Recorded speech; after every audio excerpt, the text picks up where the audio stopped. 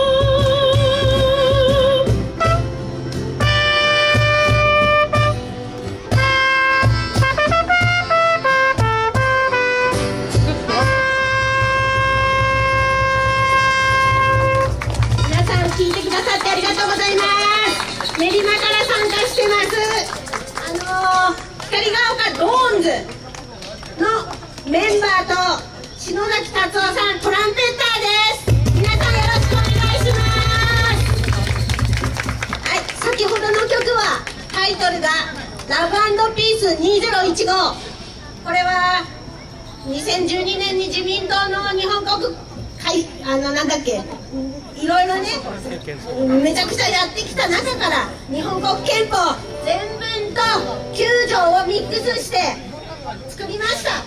私が作りました。当時小5の息子とあちこちの集会で、えー、歌ったり YouTube 配信したりこんな活動してきたんですけれどもそんな回もなく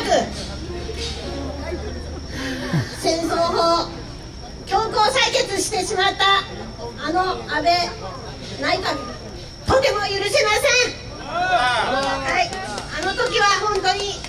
そうですよね。2年前のね。顔を上げられないぐらいショックでした。であの時なぜか「見上げてごらん夜の星を」を口ずさんだのを覚えています、えー、皆さん原曲が発表された行動経済成長期の頃は夜空の星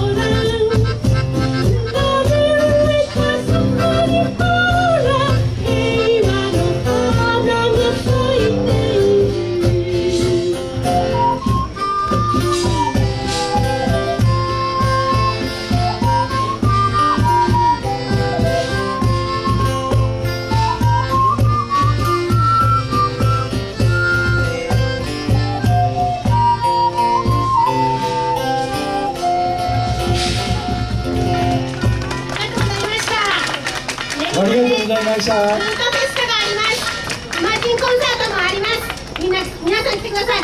えっ、ともう一回田中さん一言だけ言わせて。今こそ市民が手をつなぎ安倍政権の暴走を音楽の力でストップさせ国民一人一人が夢を追いかけて希望の持てる日本の未来への夜明けドーンズを目指し活動し続けます。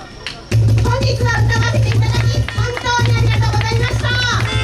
ありがとうございました。二人の顔からドーンズの皆さんでした。